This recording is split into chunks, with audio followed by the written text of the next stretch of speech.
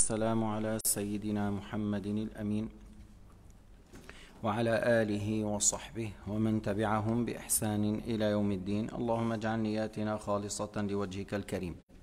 نتم في موضوع القضاء والقدر. Nous continuons toujours au sujet de la prédestination. Euh, à la page 149 du livre As-Sirat al-Mustaqim la traduction en français الترجمة لهذا الكتاب الصراط المستقيم الذي هو كتاب مبارك. في عقيدة أهل السنة والجماعة من حيث الترتيب من حيث العبارات. كتاب سهل جامع وألفاظه جميلة. Alors c'est un livre béni dans la croyance de Ahl Sunnah wal Jama'a dont les, la formulation des phrases est قال عليه الصلاة والسلام القدرية مجوس هذه الأمة. وفي رواية لهذا الحديث لكل أمة مجوس ومجوس, ومجوس هذه الأمة الذين يقولون لا قدر Alors notre bien-aimé le prophète Mohammed sallallahu alayhi wa sallam a dit euh, ce qui signifie les qadarites sont des masdiens qui sont les masdiens ceux, ceux qui adorent le feu euh, sont les masdiens de cette communauté Et dans une autre version, à chaque communauté, c'est Mazdiens, et les Mazdiens de cette communauté sont ceux qui disent qu'il n'y a point de destinée. Alors, pourquoi ces gens-là? Parce qu'on on les a, le prophète les a comparés aux Mazdiens, ceux qui adorent le feu. Parce que ceux qui adorent le feu, ils disent il y a un Dieu pour le bien, c'est la lumière. Ils disent il y a un Dieu pour le mal, c'est les ténèbres. Et les Mazdiens, du fait qu'ils disent Allah crée le bien euh, et le shaitan crée le mal, et le fait de dire, encore les humains créent leurs actes. Ils ont associé à Dieu. Ils ont prétendu qu'il y a d'autres créateurs à part Allah. Alors, dans ce sens-là, ils sont comme les Masdiens. Euh, rapporté par Abu Daoud. Dans l'ouvrage Al-Qadr de Al-Bayhaqi et dans celui de l'imam Ibn Jarir Tabari intitulé euh, al-Athar que Allah les agrée tous deux, que ce soit Bayhaqi et euh, Ibn Jarir Tabari, il, a, il, est, il est rapporté d'après Abdullah ibn Omar que le prophète Muhammad sallallahu alayhi wa sallam a dit صنفان من أمتي ليس لهما نصيب في الإسلام القدرية والمرجئة يعني ils ne sont pas des musulmans hein, deux صنفان من أمتي ليس لهما نصيب في الإسلام يعني ليسوا مؤمنين ليسوا مسلمين ce qui signifie deux catégories de gens, de, de, gens de ma communauté n'ont aucune part dans l'islam, les qadarites et les murji'ites. Ce sont des gens qui, euh, qui prétendent euh, être musulmans, mais ils ne le sont pas. Hein, Lorsqu'il a dit de ma communauté, c'est-à-dire la communauté d'appel, c'est pas la communauté de l'ijaba. أمة الدعوة ليست أمة الإجابة لذلك قال من أمتي لكن بما أن هؤلاء يدعون الإسلام Umm Ce sont dans la communauté de l'appel à qui Sayyidina Muhammad est envoyé. Mais puisque ces deux, ils prétendent être musulmans et ils disent La ilaha illallah Muhammad Rasulullah, mais ils contredisent le premier témoignage. La ilaha illallah veut dire il n'y a pas de créateur à part Allah. Tu vois, et veut dire que tout est créé par Dieu Azza Alors ces, ces deux groupes, ils contredisent la première shahada. C'est pour cela Sayyidina Muhammad a dit n'ont pas n'ont aucune part dans l'islam les qadarites et les murji'ites. طيب. شو أن القدرية؟ القدرية الذين يقولون لا قدر. Les qadarites sont ceux qui disent nous agissons avec un choix de notre part sans la volonté de Dieu. القدرية الذين يقولون نحن نتصرف من غير مشيئة الله. Les Mu'tazilites sont les Qadarites. Al-Mu'tazila, on les a nommés Mu'tazila parce qu'ils se sont isolés de la séance de Hassan al-Basri. اعتزلوا مجلس الحسن البصري فسموا معتزلة وهم القدرية الذين ينكرون القدر. Car ils ont fait de l'homme l'égal de Dieu en remettant en cause la puissance de Dieu de créer l'acte de ses créatures. Ils ont dit Allah ne peut pas créer nos actes.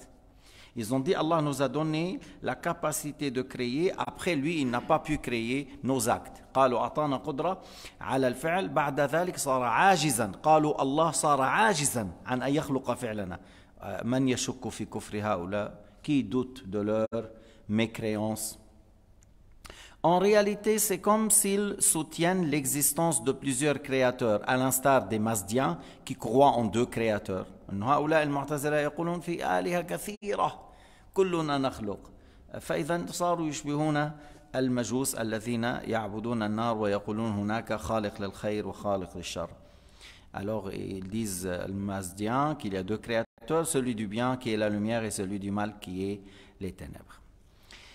Maintenant, le, le, le, le terme guidé s'emploie dans deux sens. Al-hidayah تطلق على ايش؟ على معنيين، على معنى الإبانة والدعاء إلى الحق وعلى معنى خلق الهداية. Le mot la guider, on l'utilise dans deux sens.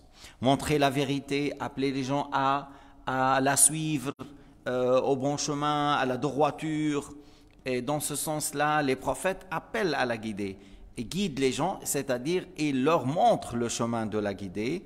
Et euh, les, les, les, les, gens qui font l'appel pour la da'wah, tout ça, encore guident dans le sens montre, dans le sens guide, ils montrent aux gens.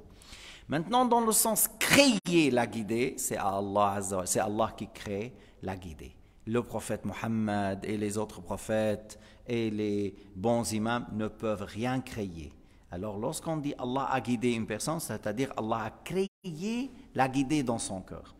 Lorsqu'on dit ah oui, cette personne a guidé l'autre. Oui, c'est-à-dire il lui a montré, il l'a appelé, était la cause. Mais c'est Allah qui a créé la guidée, c'est pas cette personne. Je, je, lis maintenant. Le terme guidé s'emploie dans deux sens. Le premier consiste à montrer la vérité, à inviter à autrui à inviter autrui à l'embrasser et à s'armer de preuves probantes. Voilà, voilà, il, appelle les gens à cela, il leur montre le chemin.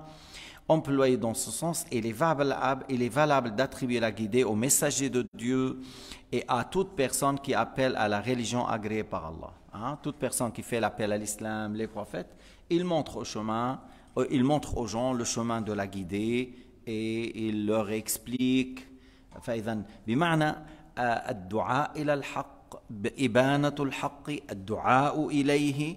إيه بنقول الأنبياء يهدون العباد العلماء العاملون يهدون أي يدلون.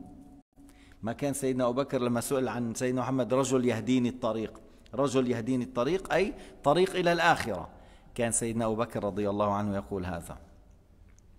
En effet, Allah le Suprême a dit à propos de son messager Muhammad alayhi salatu wassalam wa innaka latahdi ila siratin mustaqim ce qui signifie tu guides les hommes vers le droit chemin. Allah dit également dans la sourate Fussilat wa amma thamud fahadaynahum fastahabbu al-ama ala al-huda ce qui signifie quant à Thamoud nous leur, nous leur avons montré la voie de la guidée mais ils ont préféré l'égarement à la guidée.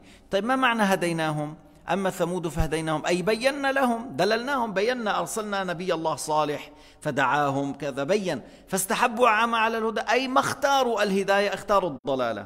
أما معنى أما ثمود فهديناهم أي بينا لهم. مش معناه خلقنا فيهم الهداية وبعدين هن بقيوا ضالين لا. هديناهم أي بينا لهم.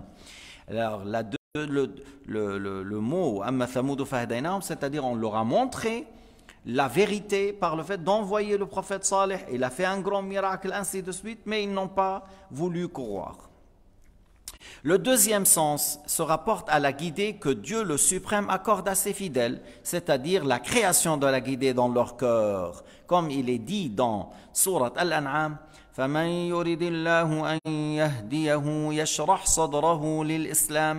ومن يرد أن يضله يجعل صدره ضيقا حرجا كأنما يصعد في السماء فمن يريد الله أن يهديه أي من أراد الله له أن يهتدي يشرح صدره الإسلام فيخلق في قلبه الهداية Ce qui signifie, Allah ouvre à l'islam le cœur de celui qui veut guider, c'est-à-dire il crée dans son cœur la guidée, il resserre et oppresse le cœur de celui qui veut égarer.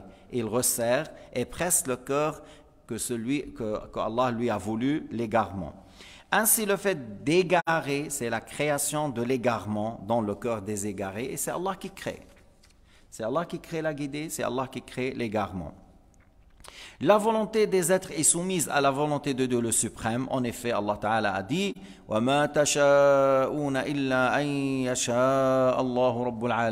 Notre volonté est sous la volonté de Dieu Azza wa On a un choix. Combien de fois on a dit on a un choix Mais sous la volonté de Dieu, on n'est pas indépendant.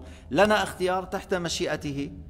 نجي على المسجد نذهب إلى مكان آخر نشتري نأكل هذا الطعام نشرب هذا الماء نشرب هذا الدواء أنت تختار ولكن كل ما فعلته سبق في علم الله أنك تفعله وشاء في الأزل أنك تفعله فأنت مختار تحت مشيئته Tout ce tout ce que tu vas faire, Allah l'a su, Allah l'a prédestiné, alors tu as un choix sous sa volonté. Alors, mais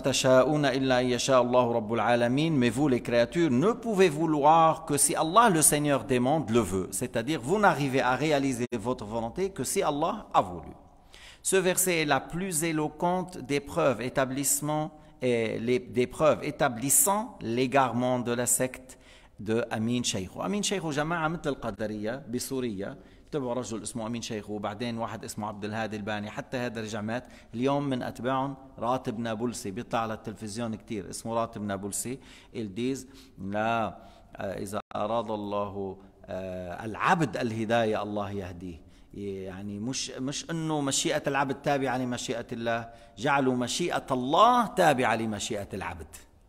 Alors cette c'est la secte de Amin Sheikho, ils prétendent que la volonté de Dieu est sous la volonté de l'être humain. Si l'être humain a voulu, Allah veut. Si l'être humain n'a pas voulu, Allah ne, veut pas. C'est-à-dire, ils ont prétendu que la volonté de Dieu suit la volonté de l'être humain. Alors qu'il dit que si l'être veut opter pour la bonne voie, Allah le guidera, mais s'il opte pour l'égarement, Allah l'égarera. Que, que disent-ils alors de ce verset? C'est Allah Ta'ala qui crée en lui l'acte de la guider. Allah ouvre à l'islam le cœur de celui qu'il veut le guider, qu'il veut guider. Ce verset montre explicitement que la volonté de Dieu précède la volonté humaine. Car ici, Allah a fait valoir sa volonté et non celle, euh, et non celle de ses créatures. C'est sa volonté qui se réalise c'est comme s'ils disent que si l'être veut que son cœur s'ouvre à l'islam, Allah lui ouvre le cœur à l'islam. Et que le pronom personnel il dans ce verset, ce qui signifie il resserre et oppresse le cœur de celui qui veut égarer, ne peut avoir pour antécédent l'être humain.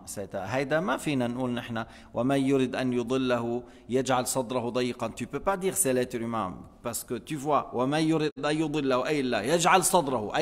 c'est Allah Ta'ala. Si tu dis non, c'est l'être humain, vraiment c'est une falsification et c'est quelque chose qui contredit la langue arabe. Car si c'est le cas, le style du Coran serait alors plat et faible et euh, dans les expressions. Et on sait, nous, que le Coran, non, il est dans le sommet de l'éloquence, il n'est pas faible, le style du Coran. Mais d'après eux, euh, d'après eux, s'ils disent ça, c'est comme ils prétendent que le style du Coran est faible. Or, le Coran est sans contexte le sommet de l'éloquence. Par cela, ils manifestent leur ignorance et leur stupidité. Ainsi, selon leur croyance, le verset suivant, qui signifie Allah ouvre à l'islam le cœur de celui qui veut guider, signifierait que si l'être voulait qu'Allah le guide, alors Allah ouvrirait son cœur à l'islam. Ce qui est tout à fait le contraire de ce que Allah a révélé dans le Coran al-Karim. Ainsi, si leur croyance, Allah aurait dit que l'être qui veut l'égarement, Allah lui rend le cœur oppressé et étroit. Et cela est une falsification du Coran. Yani, s'il prétend que c'est l'être humain qui veut et Allah Ta'ala réalise ce que l'être humain a voulu. C'est-à-dire, c'est comme ils disent, la volonté de Dieu est sous la volonté de l'être humain, alors ça c'est de l'égarement. Et cela est une falsification du Coran pour l'avoir sorti du style de la langue arabe qui est la langue du Coran. Les compagnons du prophète Mohammed al-Sahaba ont compris le Coran en utilisant les règles de cette langue. Mais on ne peut pas maintenant changer les, règles de la langue arabe pour dire comme la secte de Amin Shaykhou. La preuve aussi que les compagnons ont compris le Coran d'une manière tout à fait différente et opposée à celle de cette secte. C'est l'unanimité des musulmans du salaf et khalaf confondus sur leur parole. Il y a l'unanimité depuis les compagnons du prophète Mohammed jusqu'à nos jours. Ce qu'Allah a voulu, ce que Dieu veut existe et ce qu'il ne veut pas n'existe pas. C'est-à-dire, tout dépend de la volonté de Dieu et pas le contraire. والله سبحانه وتعالى أعلم وأحكم والحمد لله رب العالمين وصلى الله على سيدنا محمد وعلى آله وصحبه وسلم.